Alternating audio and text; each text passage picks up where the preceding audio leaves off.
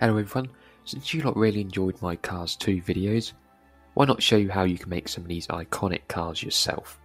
Don't forget to check out the Discord to help with and be in some of these videos, and if you want to support me, consider joining the Patreon. Let's get into it.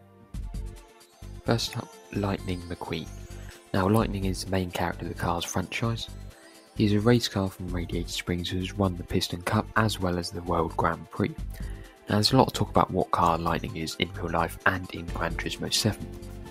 A Chevrolet Corvette, Dodge Viper, and the Ford GT are all names that come to mind. But it's difficult to know which one he actually is, as it isn't really an exact replica of any real life car. So it's up to you to decide which one suits him best. Personally, think he's too modern to be a Ford GT, and I think the Viper does suit him best. So for the sake of this video, we'll go with the Viper. Anyway, you'll want to get this livery that is on screen right now. Depending on what car you choose to recreate Lightning with, that will obviously influence what livery or design you're going to go with. And there are plenty out there, lots of people have done them, but just get one that suits him the best. And since he is a race car, you will want some upgrades, so first you're going to get the stage 1 and 2 weight reduction. Then some power. He has around 750 brake horsepower, so this is the number we need to aim for power upgrades you can see on screen will get him to around 750 horsepower, but as long as you can get around that number, it doesn't really matter too much what upgrades you're using. We must also get the racing brake, suspension, clutch, and the brake balance controller. Remember, we're creating a world famous race car here, so we do want to maximise the performance. Now, once you have all these power upgrades and the livery, you have actually created Lightning McQueen. Now you can use this car to compete in many races, but I will give you some ideas of what you can do with this at the end of the video, so make sure you stick around for that one. Next up, Luigi. Luigi is the Italian owner of Luigi's Casa della Tires in Radiator Springs and provides people in the town with his tyres. And he is one of the easiest characters to recreate since he has a 95% similarity to the Fiat 500 which is already in the game. Now, this car only appears in used car dealerships, you may have to wait, but it is very cheap at just 15,000 credits. One of the cheapest cars in the game, for that matter. Now, if you want to make a car's character on a budget, this is definitely one.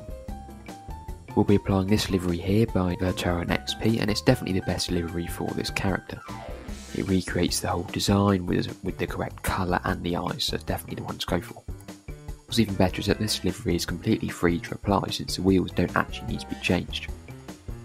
But so far we're still at around 15 or 16,000 credits for the whole car. But let's not forget Luigi is the owner of a tyre shop so we can't be racing around with the comfort tyres. So let's get some sport tyres. To help with racing we'll get some suspension and some upgraded brake pads. Then to get a little bit of power we'll buy the sports computer, air filter and silencer. Now, naturally, Luigi isn't going to be a race car like Lightning McQueen, but it's definitely a fun car to drive around. And once again, I'll give you some ideas of some races you can do with this car later on in the video at the end. So make sure you stick around for that. Now, moving on to Sally.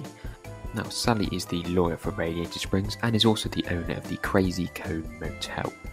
Now, Sally is near identical to the Porsche 996 Carrera, Unfortunately, we only have the GT3 RS version of this car in the game. Front and front they look the same, so we'll have to make do. We're using this livery by Chicken Cutlet 2, which is the best one to recreate Sally with. Now it's cheap to install, and remember Sally isn't a race car.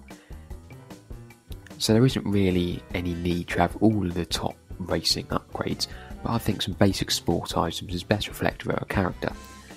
This is because she can be seen driving around with Lightning McQueen and getting into a couple of races, but obviously not participating in the World Grand Prix and the Piston Cup races itself. We'll just go on with some basic sport upgrades and some tyres and that kind of stuff. Once again, Sally can be competitive in some of the campaign races, but I'll show you some more things you can do later as, as I've already explained. Next up is Fillmore.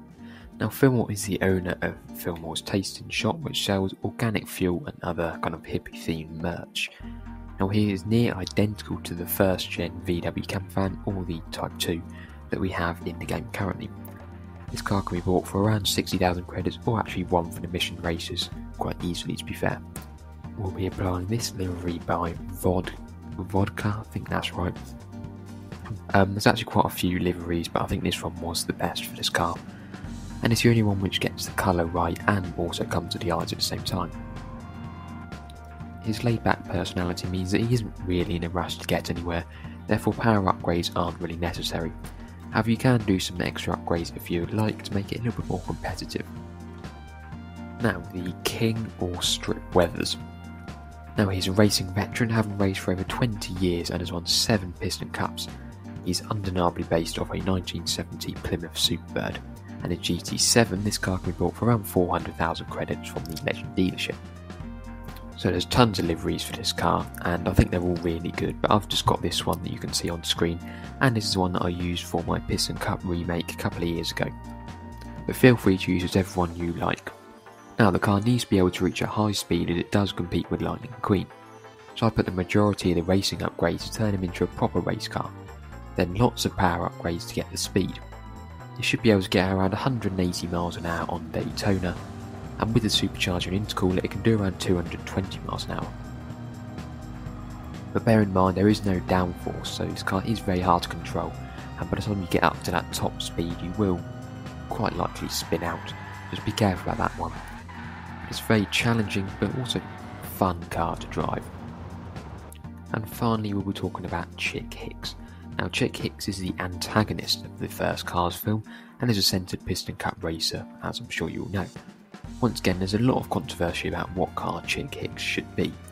I think the best car that I think the car that he's actually based off is the Buick GNX, which is a really good car, but it sadly isn't in Gran Turismo 7.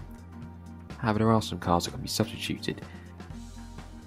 The Pontiac Trans Am, or what I'm currently using the Chris Holstrom concept 1967 Chevy Nova, tuned kind of Nova. A car can both be used instead. Now, whatever your car you're using, we want to make sure it can keep up with Lightning and the King. Both of these cars have around 750 horsepower. Luckily, these cars are quite tunable and do have quite a bit of power from default. So if you're using the Pontiac Trans Am, you know, some basic upgrades and maybe a supercharger if you need it will get you up to around that number. If you're using a Chevy Nova like me, it comes with 732 horsepower standard, so I think to be honest you could get away with leaving it without any power upgrades. But you also want to get some racing upgrades, definitely some racing tyres from Luigi, and some other stuff um, like the brake pads, the suspension, all that to turn it into a proper race car. Now, what we're aiming for here is Lightning the King and Chick Hicks are all kind of roughly the same speed. Now, I wish I could cover every character, but I hope this video has shown you some of the possibilities of remaking the cars in Gran Turismo 7. But I said I'd give you some ideas about what you could do with some of these cars. Now, it's worth noting that every single car I've talked about can be used in the game, obviously, some may even compete in races, and some may actually be very good cars. But you can race these against each other, and if you do have any other cars uh, remakes that you've done, feel free to include them as well.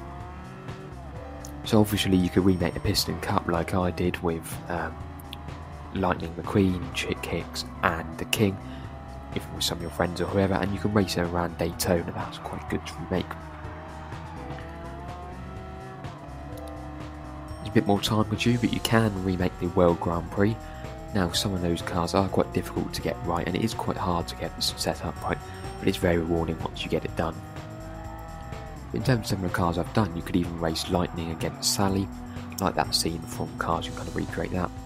Could even race Fillmore against Luigi, because they're both kind of classic 1960s, kind of slow cars, really both of them have kind of similar power, but obviously Luigi's got slightly less, but he is a bit lighter. And there are really endless possibilities about what you could do here. I haven't tried it, but I'm sure you could be able to remake the Cars 3 car- characters with Jackson Storm and that lot in the game. I'm sure you could be able to do that. And if you do manage to do that, let me know. I'll be interested to see that. But like I said, there are endless possibilities of what you could do here. But what's your favourite car out of all of these that I've mentioned? Let me know in the comments and I'd be happy to see that. Thank you for watching and goodbye.